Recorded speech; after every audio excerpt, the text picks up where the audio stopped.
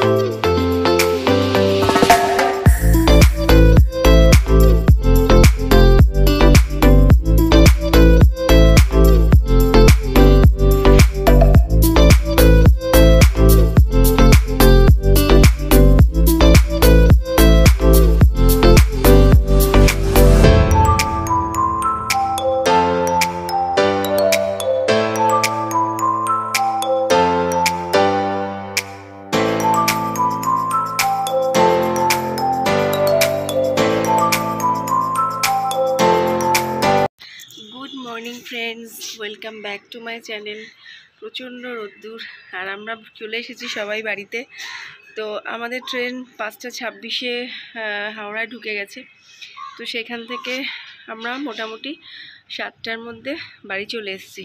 আর ওখানে ট্যাক্সির জন্য প্রচণ্ড লাইন দিতে হয়েছিল।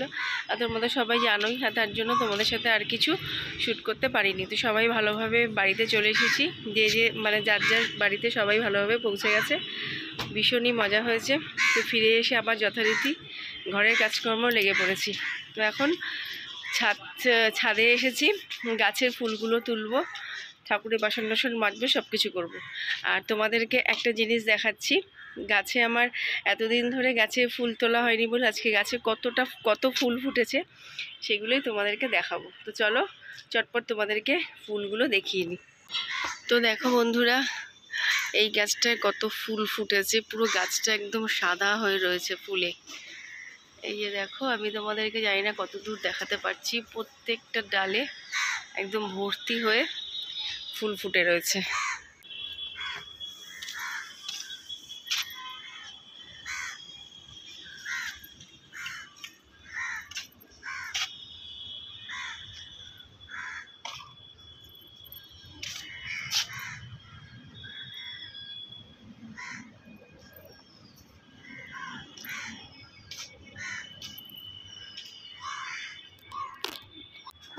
তো দেখতে পেলে কত ফুল ফুটে রয়েছে ছাদে।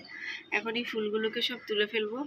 আর সারা রাত্রি ট্রেন জার্নি করে আর শরীরও ভালো লাগছে না। আজকে তাড়াতাড়ি কাজকর্ম করে একটু করে রেস্ট নেব। আর ছেলেকে স্কুলে পাঠাবো, যেহেতু সকালবেলায় চলে এসেছি আমরা। তাই জন্য আমি এখন ভাতও বসিয়ে দিয়েছি। ডাল ডাল হয়ে গেছে, আলু ভাজা করব। এই হচ্ছে আজকে আমাদের দুপুরের লাঞ্চ। আর যদি ডিম ভেজ- ভাজি তাহলে ডিম ভেজে নেব। আজকে আর বেশি কিছু করব না। তো চলো আজকে ভিডিওটা আর বেশি দূর বড় করব না। পৌঁছে গেছি, এটাই তোমাদের সঙ্গে জানিয়ে দিলাম। দেখা হচ্ছে আবার নতুন ভিডিও নিয়ে। ততক্ষণের জন্য টাটা গুড বাই